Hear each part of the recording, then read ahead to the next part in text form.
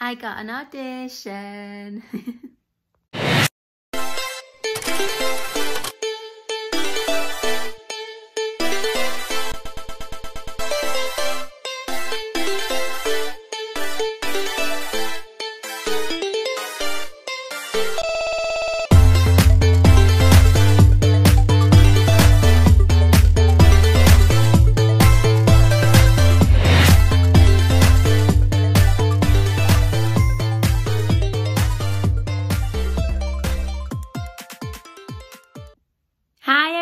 everyone and welcome to episode 10 of Watch Becca.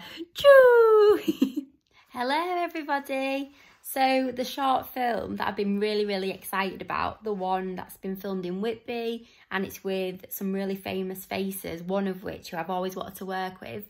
Um, I sent my application off when I was in Ireland. So the first stage, they asked for your spotlight, they ask for your show reel, your headshot, a little bit about yourself, what you've been working on recently. And then based on that, they would see if they wanted to bring you to kind of a recall stage and give you an audition with a script. And last night, I actually got an email from the company saying that they want to audition me. So I've been sent three pages of the script and I've got three to four days to kind of learn it, send it off.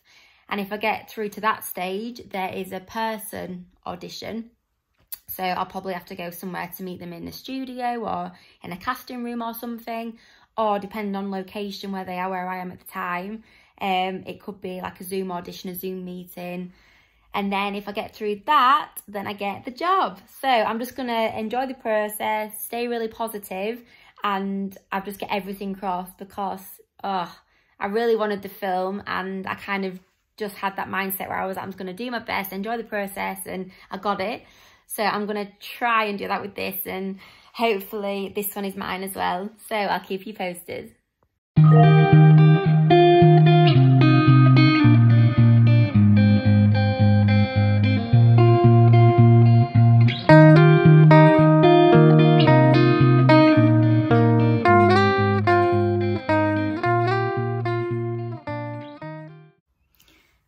One thing that I really, really don't understand. And I've just switched on now because I've just seen something on Facebook actually obviously. Um people get really scared when they want to do something but they find out it's going to take them maybe one year two year five years to complete. You know maybe it's a training course or a degree or a qualification or something. But I always just think that the time is going to pass anyway. Like whether you do the course or not whether you do the degree or not whether you do what you want to do or not the time will pass anyway. So you might as well just do it because a year will go by and you'll either be qualified for what you want to do or you won't. So just do it.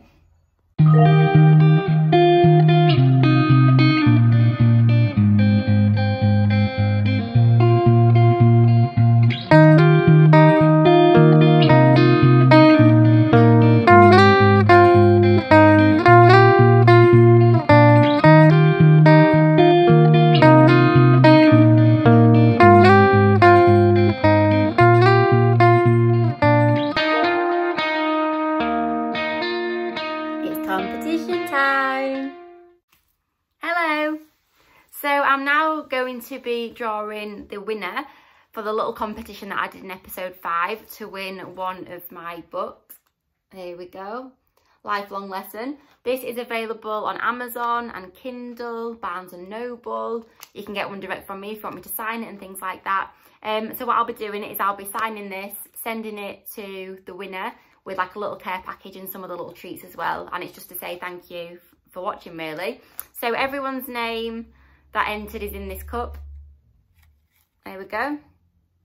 And I'm now going to draw one. So good luck everybody. Give them a shake. Okay, so the winner is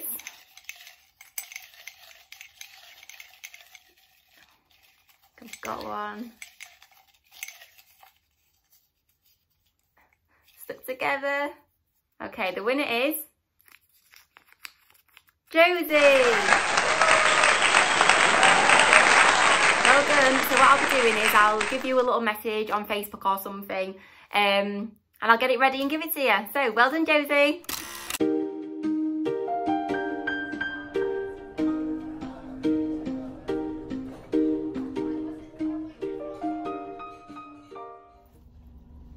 Hi everybody, so what you just saw there was the introduction and the audition self-tape that I sent to the casting director of the short film. Um, I'm just waiting literally to hear back from that now. So I'm hoping that I did enough to show potential for the character that I auditioned for. I did get an email back saying that they have received the audition and they will be in touch shortly. It was all very positive and very nice, but you, you just never know. And obviously there is still one more stage to go even after this audition. So yeah, fingers crossed. So that is the end of episode 10, which also means the end of my vlogs. Um, I just want to say thank you so, so much to everybody that's literally been watching since vlog number one. That seems like so, so long ago. When I made the decision to start vlogging, I wasn't really sure how it would be perceived or what would happen, if people would actually watch, if people would interact. But then I thought, you know what, I've always wanted to try vlogging. I've got some really cool things going on, so I'm literally just going to do it. And I'm so, so glad that I did because I've learned so much about filming and editing and vlogging. And I've absolutely loved the experience and the opportunity to just kind of put my work out there and put my content out there. And the response that I've got and the feedback that I've got from all my social media so Instagram uh, Twitter Facebook people that have sent me messages reaching out the opportunities that have come from it um, just networking it's been incredible. So I just want to thank you all so so much. I might do the odd episode like I said before you know if I get another acting job fingers crossed for the short film uh, if you know, if something else incredible happens or if I just need to tell you guys something, I might just do the odd episode. Maybe season two, you never know. Just stay ambitious, stay creative, never give up on what you want out of life. And if you want to do something, just do it and don't worry about what people might say or what people might think because you've only got one life and you shouldn't go looking for anyone's approval to do what you want to do to make you happy.